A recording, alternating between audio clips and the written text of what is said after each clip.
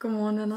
I dag så er det lørdag den 18. maj, og klokken den er kvart i 10 om morgenen. I dag skal vi vlogge, og det er faktisk ikke engang fordi, at der sker noget sådan helt specielt i dag. Men det bliver godt vejr, og lige nu, ikke?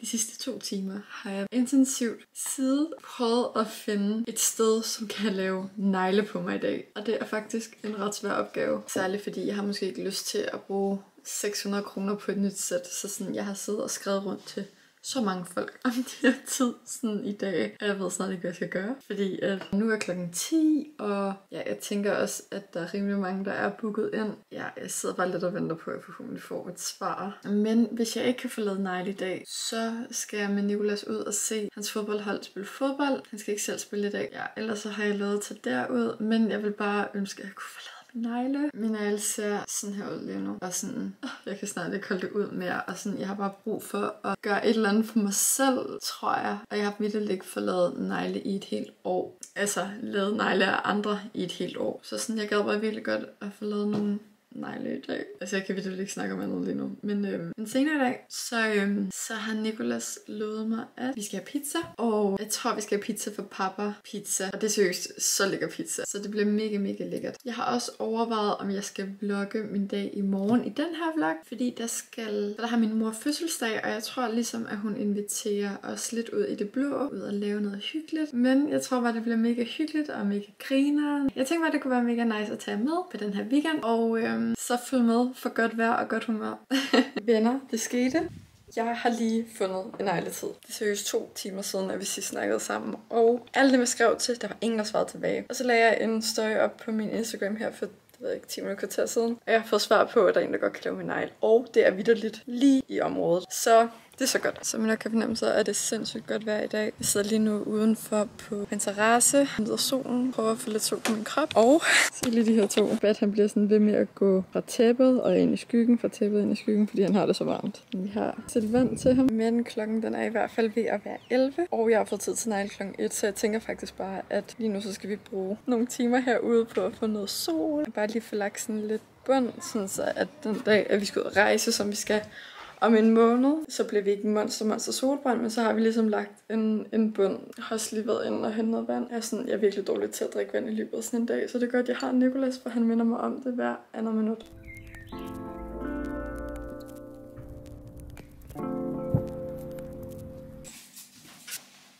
Klokken den er lidt over 12, og jeg skal have lavet og jeg skal have lavet negle om en time. Så jeg vil bare lige sådan få et eller andet at spise inden. Så jeg skal have en rugbrødsmad måske. Ej, jeg glæder mig så meget til pizza i aften. Jeg ved ikke, hvordan det her det lige er sket, men min kniv har, har sat sig under min rugbrød. Den er seriøst lige herinde under. Ej, det kan jeg ikke. Jeg tager med hernede i stedet. Forresten heller ikke mine shorts, jeg har på. De er lånt. Mm. Herefter jeg har fået lavet negle, og Nikolas han har været til kamp, øhm, så tror jeg også, at Nikolas han gerne vil ud og løbe. Og så cykler jeg med. Det er forresten ikke for særlig mange uger siden, jeg købte de her solbriller. Og det er sådan lidt en anden vibe, end det jeg sådan normalt kører. Men jeg synes faktisk, at de er lidt cool. Men jeg får lige spist færdig, har noget tøj, og så ses vi, når jeg er på vej. Okay, jeg er hermed på vej, og jeg har sat mit hår op, sådan så at det ikke bliver mega ulet til, når jeg kommer frem. Men jeg har lånt Nicolas' mors cykel, og det er så varmt, at jeg kører den uden jakke. Jeg har den med. Jeg, er sådan, jeg cykler bare derud af nu. Jeg glæder mig så meget til at vise jer min negl. Selvom også, at jeg sikkert går med noget mega simpelt, som altid.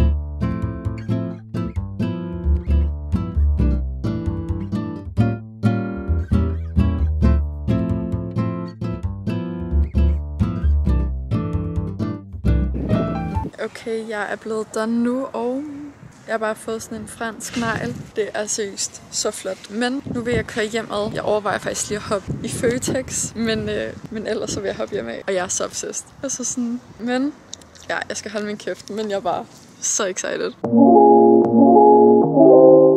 Jeg ved ikke engang, om han er hjemme, eller om han er ude at gå med Batman. Ej, jeg troede, det var Nicolas, der var her. Jeg er rigtig her. Du selv nøgler med. Men jeg står rigtig her og filmer Sebastian, men jeg tror, det er dig, der kommer. Nå, hej Sebastian. Ej, du købe chips. Det er til hygge. Jeg skal ikke chips. Du kan godt lide chips. Ej, undskyld Sebastian, jeg rigtig fik reddet dig ned. Sad du bare ude i bilen, fordi bilen var her? Oscar lige... Jamen, jeg kan godt købe med Oscar. Nå ja, der var han. Ja. Ja, jeg kommer til at have bad. Ej, ej, ej, vandhunden? Besson. Uh, skal du også have nogle chips i aften? Okay, jeg er hoppet i et par shorts. Jeg tænker egentlig bare lige hurtigt, at jeg sætter mit hår op. Og så skal jeg lige hurtigt have en anden trøje på. Så skal Nikolas ud og løbe. Og jeg skal cykle, som jeg også sagde tidligere. Nikolas han er lige ude og gå med Batman. Jeg har gjort noget mad klar til Batman, til vi kan gå. Og jeg er været bare stadig sindssygt godt, selvom også klokken er ved at være halv fem. Og bagefter, så skal vi op og hente pizza. Og jeg er altså hundesulten. Og jeg glæder mig så meget til at hente pizza. Og jeg ved allerede, hvad jeg skal have. Ja, nu venter jeg altså lige på, at de to kommer hjem, sådan så vi kan komme afsted.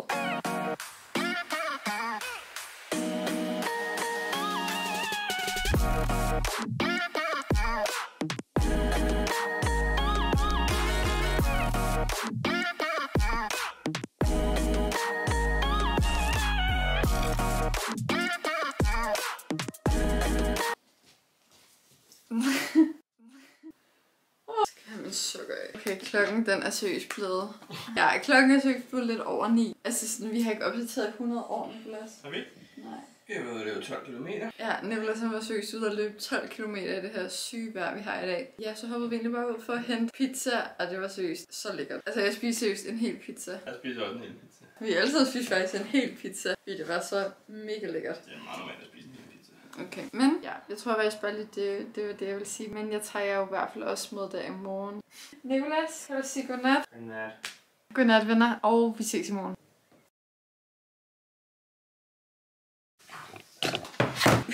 Man tror slet ikke, at det er næste morgen, for jeg har videre lidt det samme tøj på, som jeg havde i går. Men jeg har så ikke ikke taget særlig meget tøj med her hjem til Nicolas' forældre, så, øhm, så det er bare som det er. Jeg har lige lavet morgenmad. Klokken den er halv ni søndag morgen. Min mor har fødselsdag i dag. Vejret er ikke lige så godt, som jeg havde håbet. Jeg havde bare håbet, der skulle være strid sol hele dagen, men lige nu er der ret mange skyer. Men jeg har kigget ind på min UV-app, og det ser ud til, at selvom også der er sådan er skyer, så ser det faktisk ud til, at der er okay UV-indeks alligevel. Jeg tænker godt, at vi stadig kan få noget sol i dag.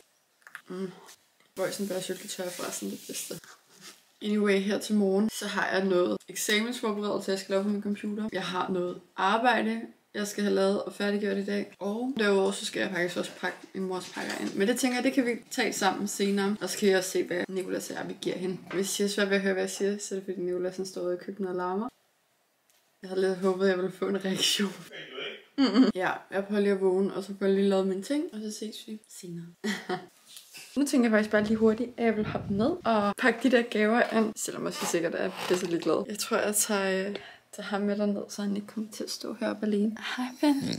Oh. Batman, kan du shit?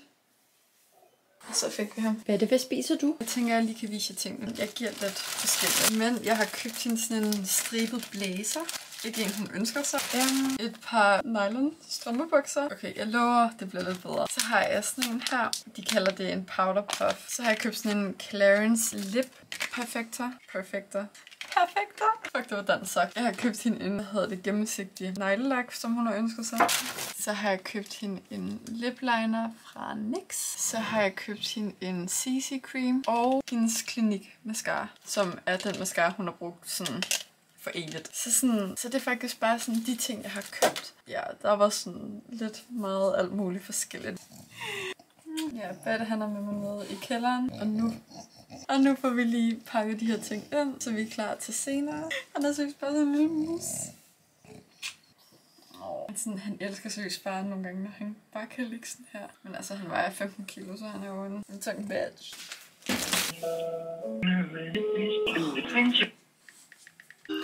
Hej Nicolas. Ja, Øhm, hvorhen er, øhm, hvad hedder det der, gavepapir? og øh, går du ned i vaskerummet? Jamen, jeg er hernede nu. Okay, så ligger det inde, øh, lige når du kommer ind til det højre sko, eller det ligner sådan nogle skabe, sådan hvide skabe under bordet. Nå, Derinde ligger en masse. nå ja. Alright, det er godt, vi ses. God træning. Hej. Hej.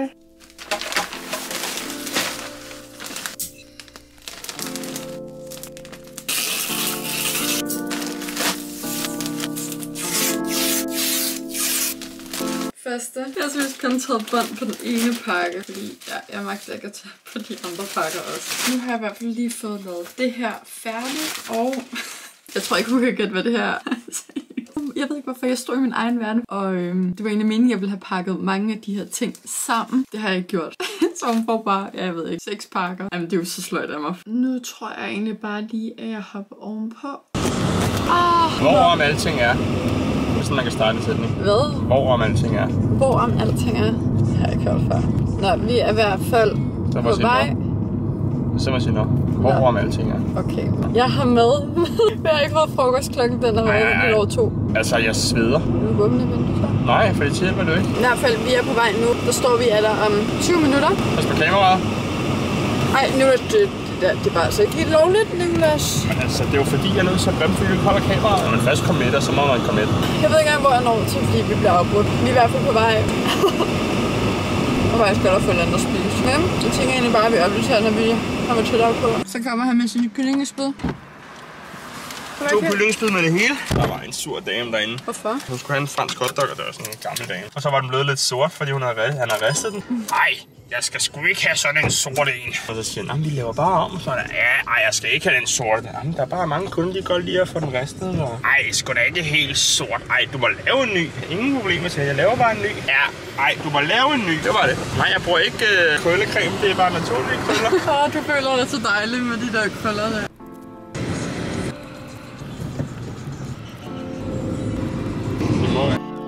Var heldige, at Nicolas han kunne lave en stabil parkering hernede. Står lige spiser sin kyllingespyd. Ja, så nu venter vi på mine forældre, så vi sådan kan guide herind.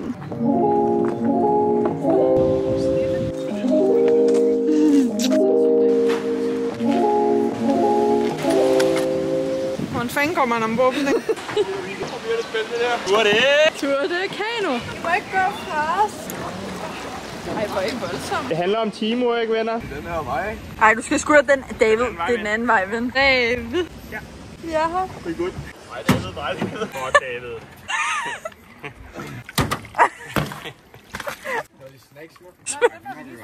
Nå, ikke sjov. Åh, det er pomfritdreng. Men hvad kan jeg sige? Så sagde vi til Men så blev alle enige om, at det behøves Nej, der var ikke alle, der blev enige om det. Alle andre end David. Ja, Alle andre hører til. alle andre, der ikke er sultne. Det var det dumt. Åh, oh, den var så lige på kanten til noget farligt her. Det er dig, der skal styre det der. Jamen, altså, det er uden grene, det er vi enige om, ikke? Jeg vil lige plukke min bagaj af dit hår. Skram, mand. Åh, den skub dig på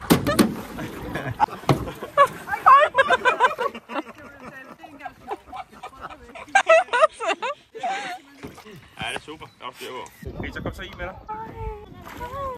David, du skal ikke skræmme dig. Med dit ansigt. Og moren går snart amok. Ej, ej, der er en her. Det er den grimme.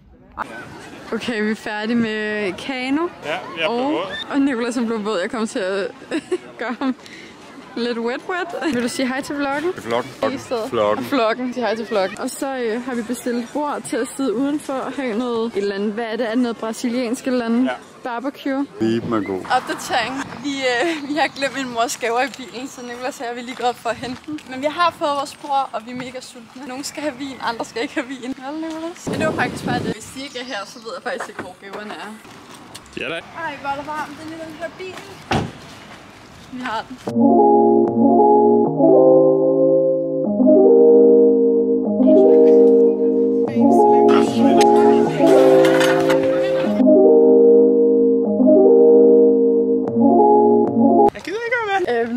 Bare hjem, og så skal vi hente bad hjem hos Nicolas' forældre. Og øh, så skal vi faktisk bare hjem og sove. Så jeg tror faktisk bare, vi vil øh, ses.